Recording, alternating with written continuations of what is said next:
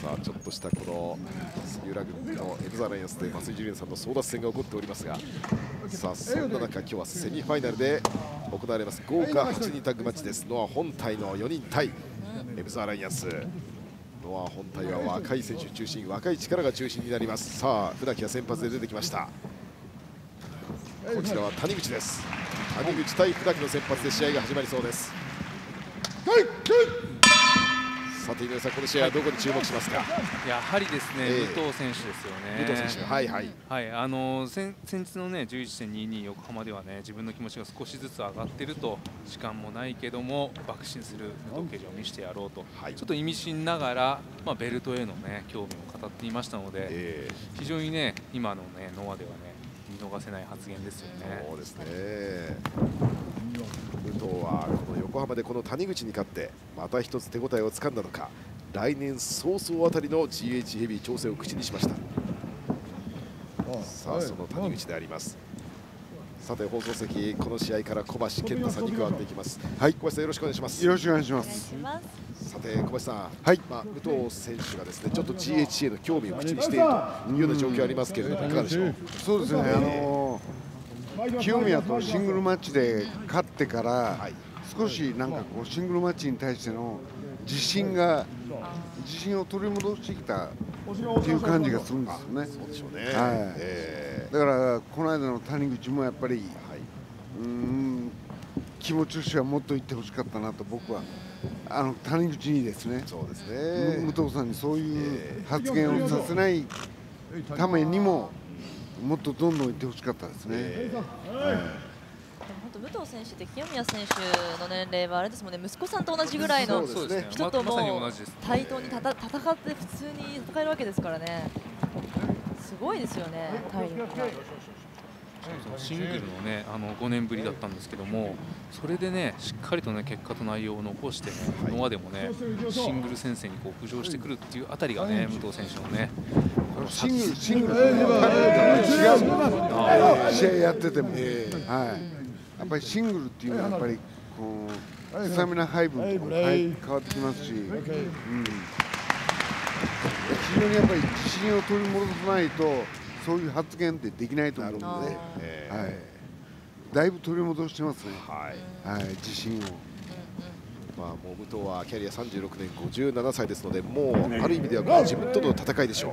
そうですね。あの昨日の自分よりこの今日の自分の方がねどういうふうになってるかっていうのを武藤選手分かっているのでこれがじゃあ1年後2年後でいいのかって言ったらそうですね。非常にね武藤選手自分の状態を分かっているので早くというただ早くというのね来年早々なのかっていうのはねいろいろとねじゃあ1月なのか2月なのかっていうとこうドキドキするところですよね。えー小橋さん、武藤選手は TPO という言葉を使いますけれども、やはりそのタイミングというのは重要ですよね。いや、もうすべて投げ込むタイミングがね、えー大事になってきますから。さあ、その時はいつやってくるのか、武藤敬司注目です。さあ、谷口が船木を倒しました。見応えのある攻防でしたよね、ええあの本当にね谷口選手はあの前回の鈴木秀樹選手とタッグをだった時も、こういうね緊張感あるね差し合いを見せましたし、やっぱりこういう攻防させると谷口選手非常に魅力的ですよね。体ありますからね。えーそして清宮バッ木が地球ウィングの体勢組みついていきました。清宮に対してやや感情的になったような仕草を見せました船木正和です。さあ清宮はキャリア5年になりました24歳ノアの若きエースです後輩の稲村のやる気を買いましてタッグ王座に挑戦します、まあ、清宮稲村組が、えー、12.19名古屋ではい。杉浦桜庭に挑戦するという試合が決定しましたねいや非常にね、このええフレフレッシュな20代のね、2人が挑戦するということでね、はい。チャンピオンが50代ですからね、え 対照的なんですけども、はい。新しいねこのノアっていうのを見せるにはね、うってつけの2人ですよね。ーさあそして武藤敬司が入りました。武藤対清宮であります。この2人といえば夏の横浜分隊で激しい戦いがありましたその時は清宮が徹底してこの武藤敬司を研究しましてドラゴンスクリーンを封じ込めました。がしかし最後は武藤敬司が勝利しています。ある意味ではスワマットでの GHC への道はこの清宮海斗とのシングルマッチから始まりました武藤。清宮選手前前王者ですからね。そうですね。前王者を通してるというね。通行手形を得てますからね、えーただそこからすぐに挑戦とはいきませんでした武藤敬司。さあここは密着しています自分の現在の状況コンディションを確認するかのようにじっくりと武藤敬司がリングで確かめています。さ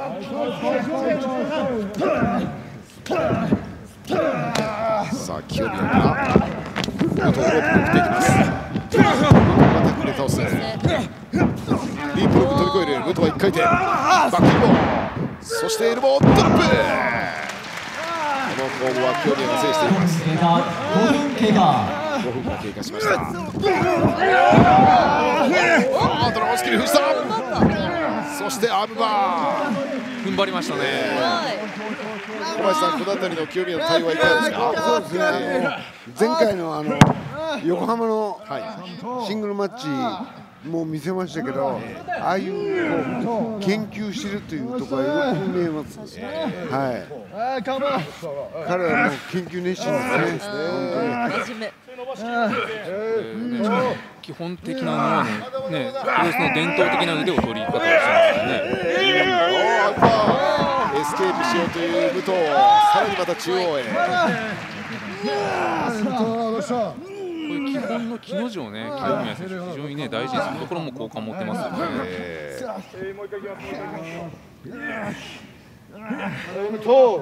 さあ清宮海斗が全くこの武藤敬司に対して臆せずに攻めています。長い足がロープにかかりました松井さんこの清宮対武藤非常に見応えがありますねえまたさらに研究したんでしょうね。ーそうですね。当然あの敗れた悔しさそれはこの心の中にまだあるでしょう、ね忘れてない。えでもなんかちょっと清宮選手なんか細くなった気がするの気そうですかのせいですか？こうちょっとね絞ったのかな？ーレブズアライアンスは宮本そして稲村が入りました。3年目の28歳。結果を出したい。そのためのチャンスが欲しいと。清宮に直訴しました。12.19名古屋で杉浦桜庭への挑戦が決まりました。混合を抜けた稲村がついに空洞を起こしました。木村タックル。小林さん、はい。この清宮稲村組というのはいかがですか？いや、これフレッシュでいいです。えーんですけど、あの先にあのチームを表明していた谷口、稲葉、この2人は一体何をやってたんだろう。なるほどはい、いきなり稲村が来て、タッグ挑戦、お前ら2人悔しくないのかとい、まあこの清宮のパートナーとしてね、谷口、稲葉、それぞれこのパートナーという形があったんですが、ただタイトル挑戦にまでは至りませんでした。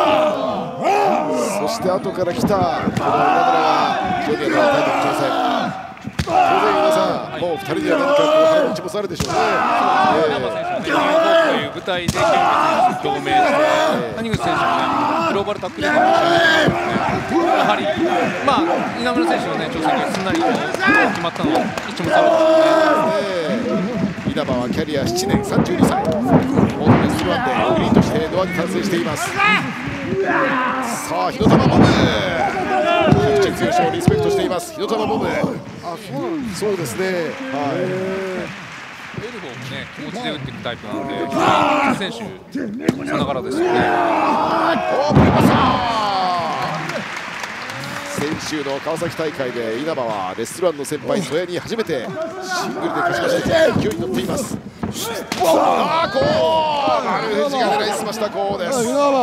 丸藤選手も今日かなりなんか感情がむき出しになってる感じがしますそうですね、えやっぱ稲葉選手はね、熱い選手なんで、稲葉。選手と向き合うと熱さがね、出てきてますよね。お前来いって呼んでましたからね。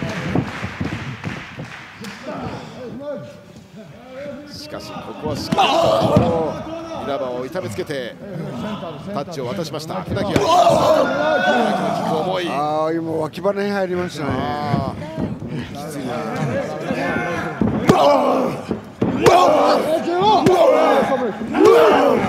見てる方も痛いですね。そうですね船木はしっかりと正面から。すごいな。ユナイトにキックを見せましたキャリア35年あります。51歳武藤敬司と新日本プロレスの同期であります。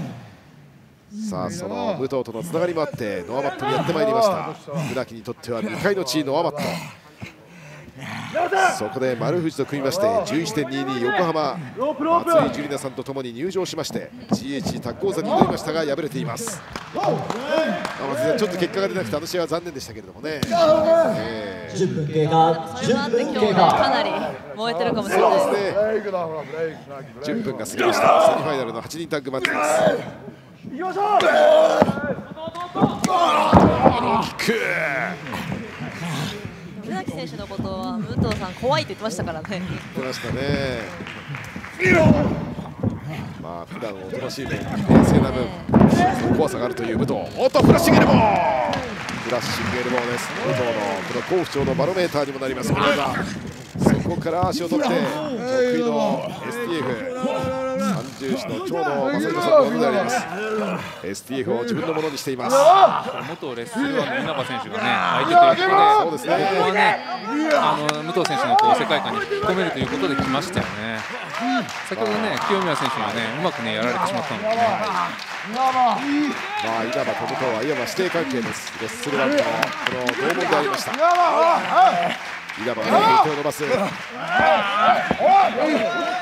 林さん、この武藤刑事の戦いぶりはここまでいかがですか？もういつもと変わらない自分のペースに乗って。稲葉選手は小橋さんの好きなタイプじゃないですかこれはそうですね。オレンジのパンツで熱いファイトということでえまあ熱いことはいいですね。スクリューですちょっと受け損ねたか。足をのしです。横綱相撲。完全に武藤のペースお谷口が入ってきた。谷口は武藤にストッピングです。おっと。先日敗れた一騎打ちで敗れた武藤に対してストッピング。どうですか今のは小橋さん。いや まだまだ。まだまだ。まだまだ。やっぱりもう谷一度振りかせるぐらいの気合が欲しいですよね、ええさあ清宮海斗が入ります。左手の武藤にエルボーそしておっとコーナーの他の3人にも祝っていきます。ドラフキック丸藤が入ってきた。おっと宮本にドラフキックそして丸藤にも。清宮海斗好調です宮本選手、宮本選手、丸選手ね全員の動きに合わせてドロップを合わせましたよねそして武藤が起き上がるところ清宮海斗トップロープへ今からミサイルキック綺麗なミサイルキック命中しました GAC ナショナル王座をね取れなかったですけど光は消えてませんでした通りですね全く勢いを取れてませんおーシャイニングザード先行魔術が出ました。至近距離で食らったのでかなりダメージあります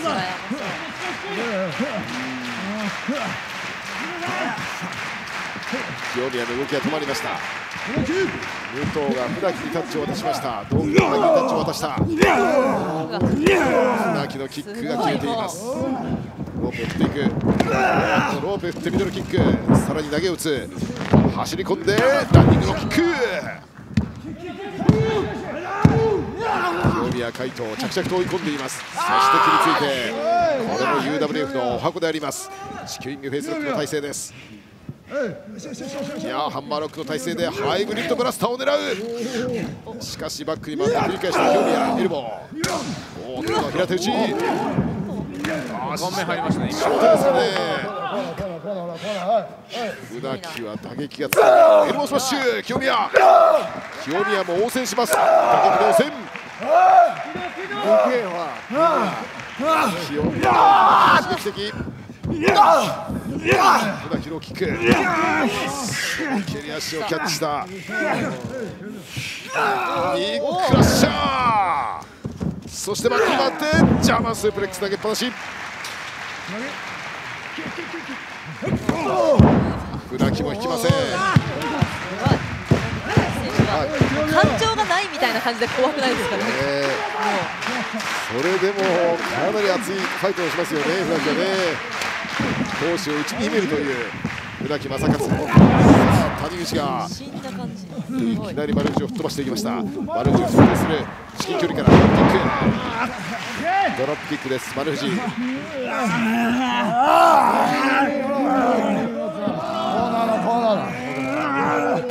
してニュートラルコーナー貼り付けて水平です。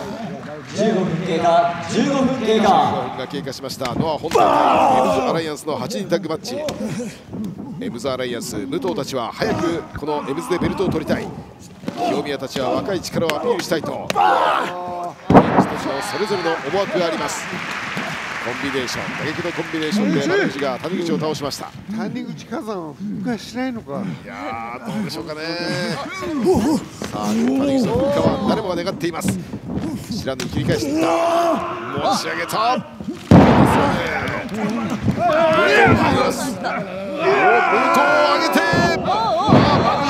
しかし丸藤は回避した宮本優子が入ります宮本ボルトに投げつける谷口が大暴れ。さあ丸藤がまだボールをとしています。対角線ラリアット。そして喉笛を掴んでチョークスラムを狙う。それを嫌った丸藤。逆水平。谷口はエルボーです。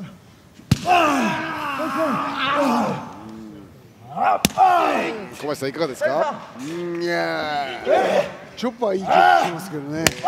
谷口のエルボーはまだまだまだまだ。ダメですトラスキック！ヘッドバット。ヘッドバット。のエルボー！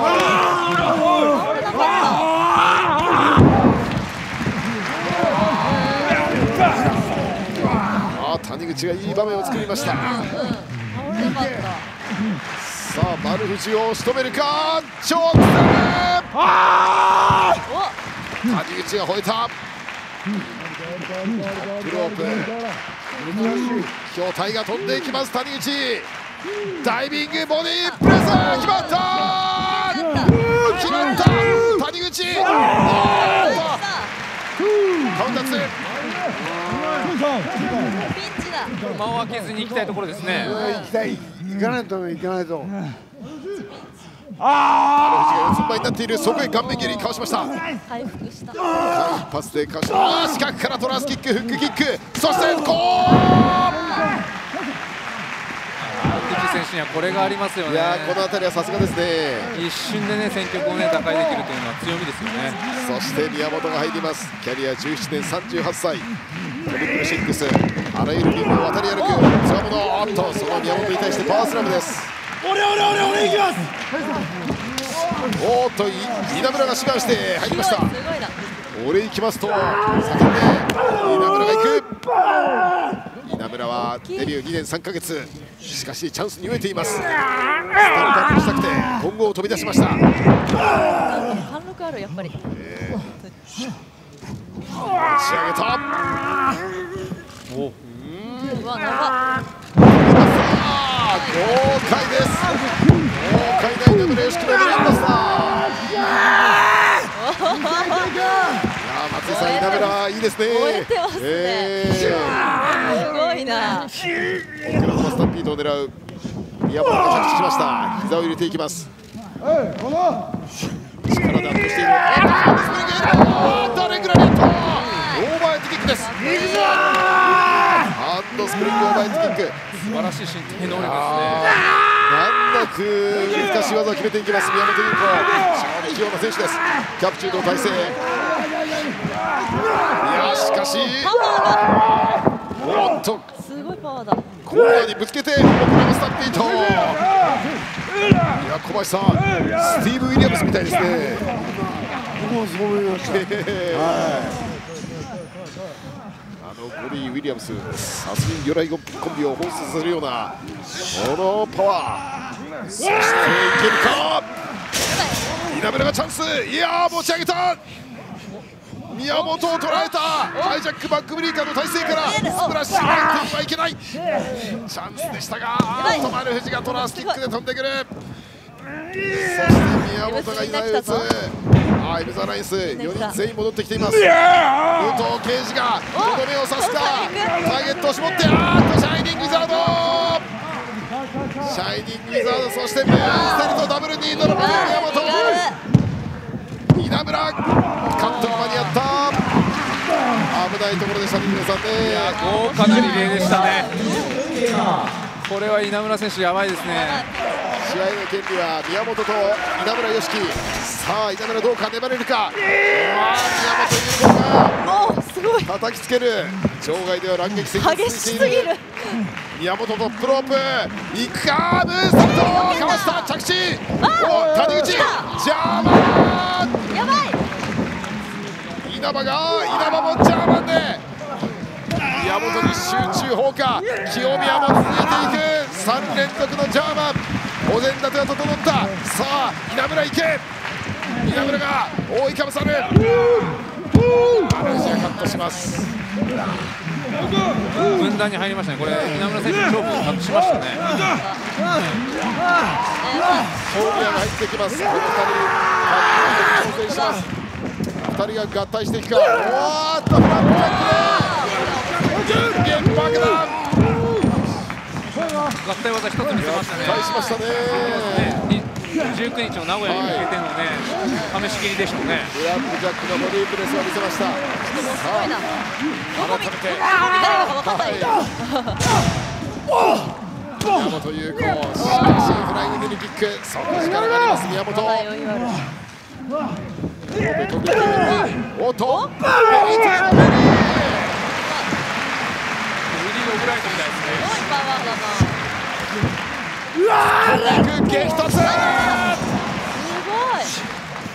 ごいおこれはとあ嘘だなんと力王の嘘。宮本を生かしましたそうですいねやー無双ですね。力王武さんの必殺技ですね小橋さんが一番知ってる技じゃないですかなんで？あそうか俺が武道館に取られたやつだ。そうです。そうですね。あそうか。えーさあおっと。まだやる。稲葉が丸に対して。まだやり合っています。これ宮本選手というね業界のねビッグネームをねスリーカウント取った時に稲村選手ね大祝福ですね。確かに。ですよねそして稲葉選手とね丸口選手とね熱く。ああ稲葉がまだ丸藤に襲いかかっていきます。かなり稲葉が丸藤を狙っている。稲葉もこのリングに生き残っていきたい。チャンスが欲しい。だからこそのこの丸藤に噛みついていきました。いやー小橋さん。はい。まあまず稲村の無双が非常に鮮やかでしたね。いやー素晴らしい。怒涛の最後、えー怒涛の勝負でした、えーはい。いいですよ。え結果が欲しい、チャンスが欲しいと、清宮に直訴して、バックボード挑戦を決めました。稲村良樹、見事にその期待に応えてみせました。これは GHC に向けて非常になんか期待が持てる、えーはい。確かにまた武装という大きな武器を一つ手応えとして手にしました。清宮海斗もガッツポーズしながら引き上げていきます。いやー名古屋が面白くなりそうだこれはねえー稲村良樹が主役の座を奪っています。プロレス動画配信サービスレッスルユニバース